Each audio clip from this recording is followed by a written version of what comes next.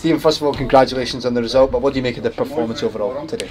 I think not good enough. If I'm honest, you know, uh, you know, sometimes you do look at results in football and you think, well, you know, we'll take the result and move on. But you know, when you're trying to progress people and you're hoping people step up to the mark, and, and um, you know, we just had a chat there, myself and Stephen, with them, and it's it seems to be all us we. We want you to do better. We want you, you know. So somewhere along the line, the players have to take a little bit of self-responsibility. And you know, I know the pitch is a little bit difficult at times, and it's not a great day, but still stick to the basics. You know, we haven't had a game for two weeks, and it's amazing how sometimes you take young players out of the game environment. I don't mean to forget how to play football, but they forget all their habits. They they lose them so easy. So if there's ever a, a lesson to be learned, is you know they we have to keep on at them about their habits, about how we want the game to be played. I just felt second half we played too many negative passes. We put ourselves in the back foot.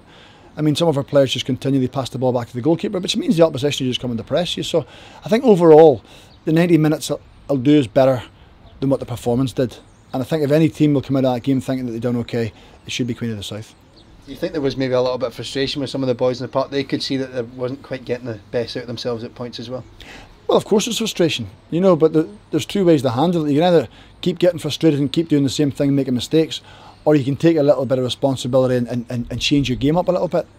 You know, so um, yeah, you know, I, I'm harsh on them sometimes because I always want the perfect game for them. You know, I can see things for them, and you ask them questions and they answer, and you do it in training. You pose them problems in training, and they solve them. And the frustrating thing is that you know they come to the game and they don't then fulfil that. You know, because I know they're better than that, and they know they're better than that.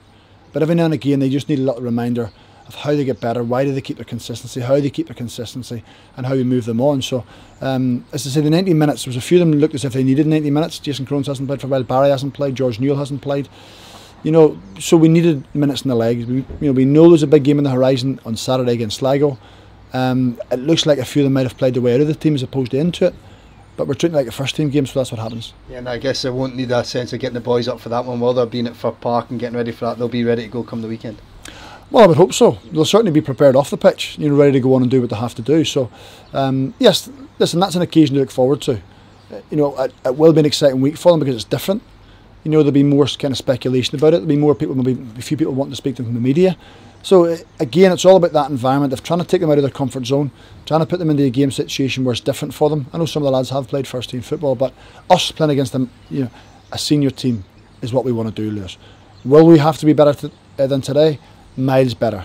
Will we be? Yes. Well, Stephen, cheers for your time again. Thanks very much. Cheers.